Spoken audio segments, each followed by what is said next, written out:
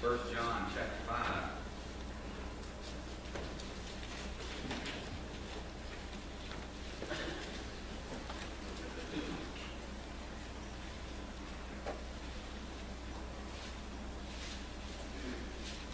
First John chapter 5.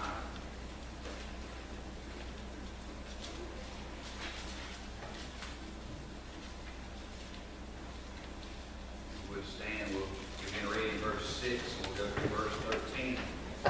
Just about through this study. Got a couple more weeks. Be through 6 through 13 tonight. It says, This is he that came by water and blood, even Jesus Christ, not by water only, but by water and blood. And it is the Spirit that beareth witness, because the Spirit is true. For there are three that bear record in heaven, the Father, the Word, and the Holy Ghost, and these three are one. There are three that bear witness in earth, the Spirit, and the water, and the blood. And these three agree in one. If we- If we receive the witness of men, the witness of God is greater. For this is the witness of God, which he hath testified of the Son. He that believeth on the Son of God hath the witness in himself. Now we need to really pay attention to this verse 10. He that believeth on the Son of God hath the witness in himself. He that believeth not God hath made a liar, because he believeth not the record that God gave his Son. And this is the record that God hath given us eternal life, and this life is in his Son. He that hath the Son hath life, and he that hath not the Son of God hath not life. Then he says, These things have I written unto you that believe on the name of the Son of God, that ye may know that ye have eternal life, and that ye may believe on the name of the Son of God. You may see it. You we talked about when we first started the study how the book of First John is really a letter to the believers. It's a letter from the Heavenly Father unto His children. It's entitled To My Little Children. And I find it interesting that it's to the children of God, and yet the word know is in the book of First John 39 times. The word know is found 39 times within these five chapters, and it's in reference to how you can know that you are a child of God. Know that you are saved. We've seen several tests so far. Uh, just a few we talked about. He said, uh, you know that you're a child of God because you love the brethren. You can tell you're a child of God because you love your brothers and sisters in Christ. It's a selfless love.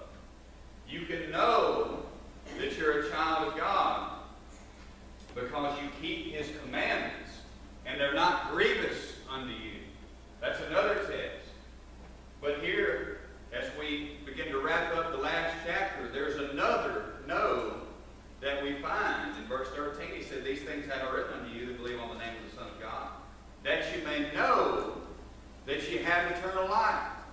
That's some pretty important stuff. But the know here is in reference to a witness. And that's the message tonight is, can I get a witness?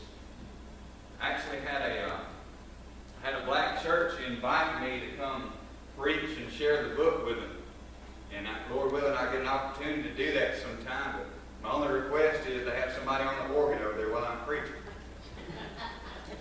That's the title of this message. Can I get a witness? Now, it says uh, in verse 7 there are three that bear record in heaven the Father, the Word, and the Holy Ghost. And these three are one. Now, before we really get into the message, there's really a sub message that we have to, to deal with. But every single modern version of the Bible takes this verse out. Uh, 1 John 5 7. And if they don't take it out, they change it to change the meaning. It says that these three are one. It does not say they agree in one. I can agree with every person here, doesn't mean we're one. These three are one. Now, you can see the Trinity throughout the entire Bible.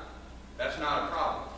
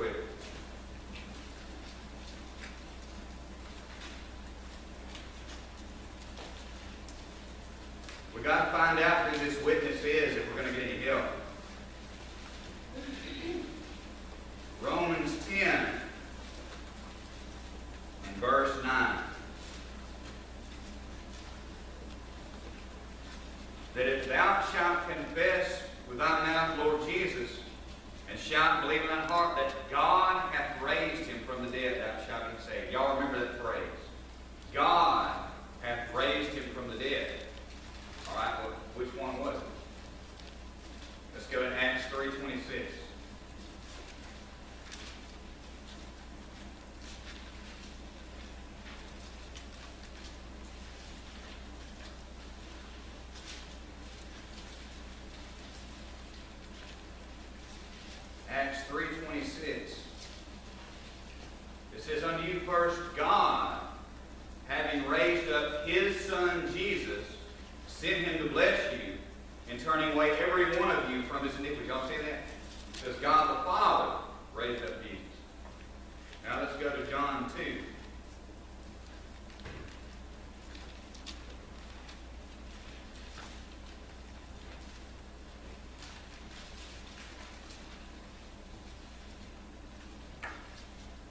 2, verse 19.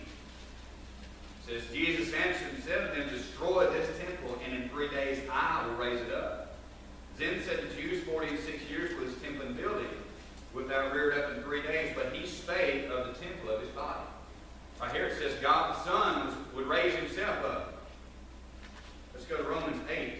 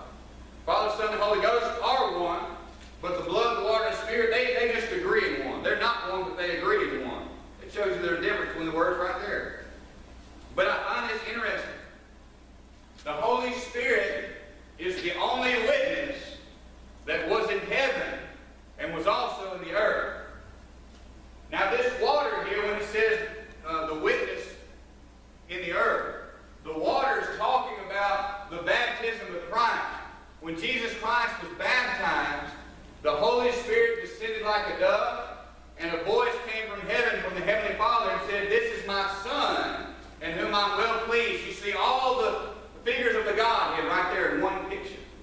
Father, Son, Holy Ghost. And this thing wasn't done in a closet, man. There was a bunch of people out there saw the Holy Spirit descend and heard the voice of God from heaven. And don't you know that that spread like wildfire? You never believe what happened down there in Jordan something done in the closet. That was a witness that he was God, God the Son. Now, the blood had to do with the crucifixion. When Jesus Christ was on the cross, the sun refused to shine. The earth shook. The, the veil of the temple was rent in twain. And even the war-hardened centurion said, Surely this was the Son of God. They knew. This wasn't done in a closet. Those were witnesses to who he was. But Christ has ascended. He's seated at the right hand of the Father. We didn't see the water. We didn't see the blood. But the witness that we had testifies of him. Now, you, when somebody witnesses something, whether it be a crime or, or whether somebody witnessed the tornado, you know, the news, the news people, they never run into somebody. They don't ever interview somebody who just heard about the storm. They want to talk to somebody who saw it firsthand. And it always seems to be the most redneck person they can find, doesn't it? I'm not going to do my impression, but I'm seeing things in my head. They want to talk to somebody who saw it, who gave an eyewitness account. It's the same way with the Holy Spirit. Do you know that if we're saved, we have a witness from another world living inside of us? And He has seen. He's seen everything in heaven. He saw the cross. He saw the baptism. We have that kind of witness living inside of us. That's why I know that there's a heaven. Because He's seen it. And He's confirmed it inside of me. That's why I know there's a risen Savior because He saw it and He's living inside of me. That's why I know that Jesus Christ is alive and we have a witness from another world living inside of us. Now, it says in verse 10, He that believeth on the Son of God hath the witness in himself. And those are the things that he wrote that we may know that we have eternal life because he's living inside of us. But it might behoove us to know for sure he's living inside of us. If we're saved and we have that witness from another world, we have God the Son living inside of us, we'll know it. We will know it. It's not one of those subtle things. I mean, we'll know it. How can the Holy Spirit, how can the Holy Spirit witness confirm that we have eternal life?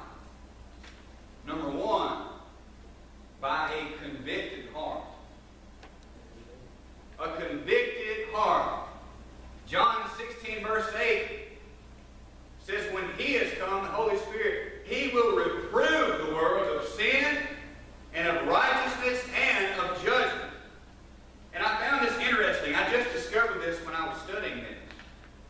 But the word reprove and the word, you know, we use the, we don't hardly ever use the word reprove, but we use the word convict a lot. The word reprove and the word convicted come from the same exact Greek word, translated from the same word. But the word convicted is only used one time in the entire Bible. I thought it was kind of strange as much as we use that word. It's only in the Bible one time, but it comes from the same root word as reprove. The only time it's found in the Bible is when the Pharisees brought the woman that was caught in adultery to Jesus, and they said, you know, your law says that she should be stoned, but what say you? And he said, if any of you be without sin, let him cast the first stone. The Bible says they were convicted by their consciences. The word convicted means to be exposed. It means to be made ashamed. It means to bring things to light and to our attention uh, that we're in darkness. And so it'll shame somebody. I don't see a lot of people getting ashamed over. I don't see a lot of people getting convicted over sin these days. Uh, the Holy Spirit will point out things. Let me say this. The Holy Spirit, the big preacher, he'll point out things in our life and in our heart that the preacher may not even say a word about. You ever had that happen before? I'm telling you some of the most life-changing sermons. I, I can tell you, I mean, I've heard some good sermons in my life. But I can tell you about four sermons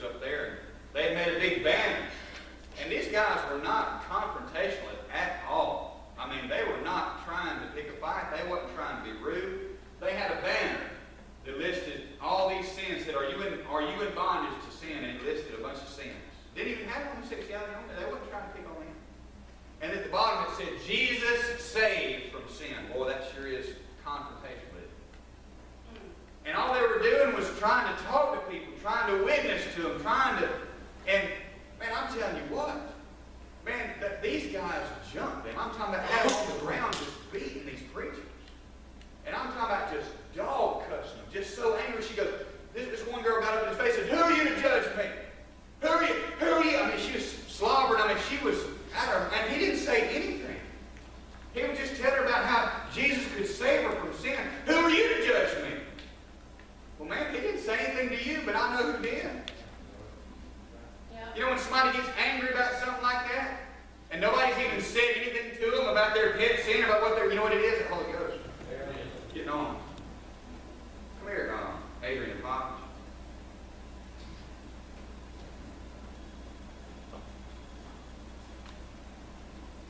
Just sit in one chair. I'm going to be the Holy Ghost.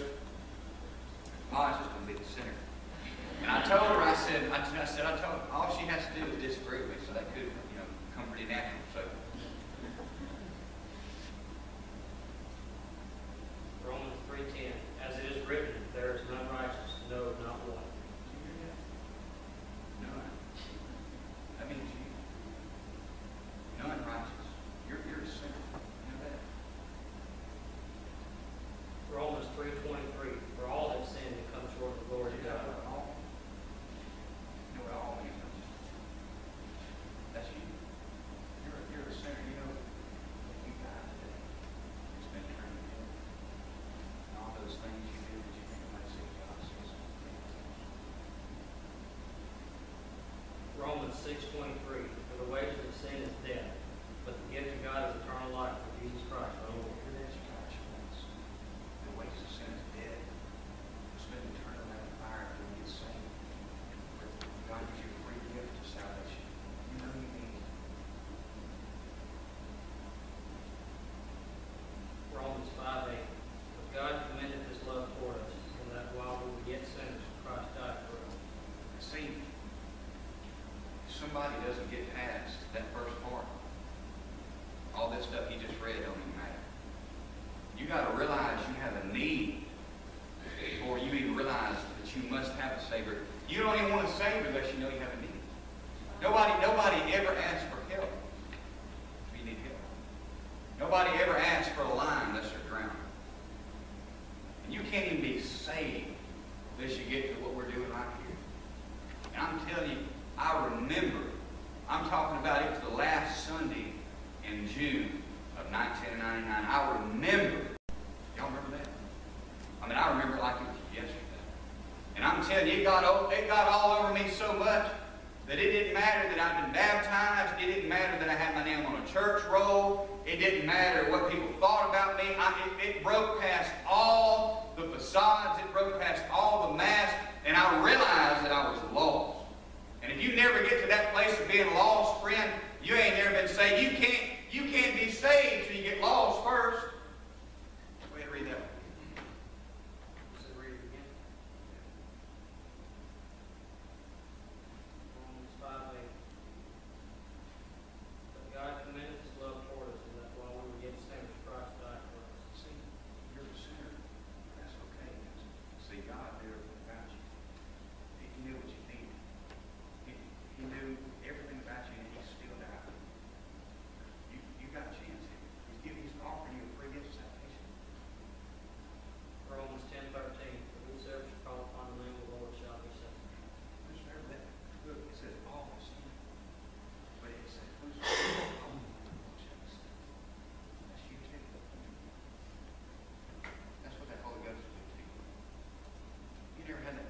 you ever had that